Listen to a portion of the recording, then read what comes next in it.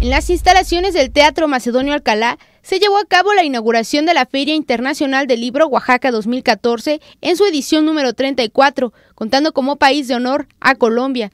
Durante su participación, el director de la feria, Guillermo Quijas, comentó que este legado comenzó sin recursos, pero con un gran entusiasmo durante los años 70. Dijo que la Filo es una celebración en donde participan los tres niveles de gobierno, asociaciones civiles y la sociedad organizada.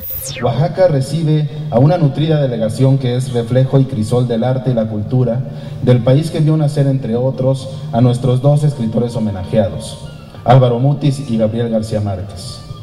De esta forma, la Filo es también una celebración de la amistad, de la hermandad entre dos pueblos que han atravesado momentos complicados, pero que han salido adelante con tesón y esperanza. Es nuestro deseo que estas celebraciones se hagan extensivas a toda la sociedad que asistirá a algunos de los más de 200 eventos que a partir de hoy hasta el próximo 9 de noviembre se llevarán a cabo en diferentes espacios en toda la ciudad.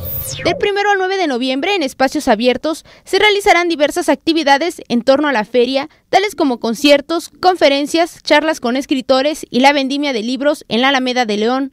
Por su parte, el embajador de Colombia en México, José Robledo, señaló que este evento es una demostración de la hermandad entre ambos países. Por experiencia, llevo tres años largos como embajador y no hay en el mundo desde luego, pero en América Latina tampoco, un país que tenga una mayor sinergia, una mayor similitud, una mayor empatía que México con Colombia.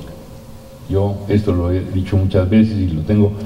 El gobernador del estado, Gabino Cue Monteagudo, señaló que como parte de las festividades de noviembre en Oaxaca, se realizarán más de 400 eventos artísticos y culturales en diversas plazas de la capital.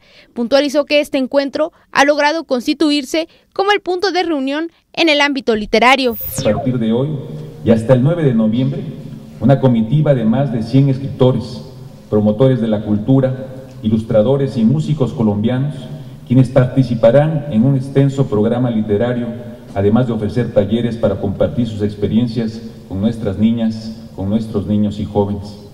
Durante estos nueve días, como aquí ya se ha señalado, la vida y la obra de los escritores Gabriel García Márquez, Álvaro Mutis y José Agustín será un objeto de reconocimiento en esta Feria de las Letras, mediante una serie de conciertos y actividades literarias que buscarán hacer florecer la semilla plantada por estos tres grandes exponentes. Con imágenes de Antonio Reyes, reportó para MBM Televisión, Vicky Ramírez.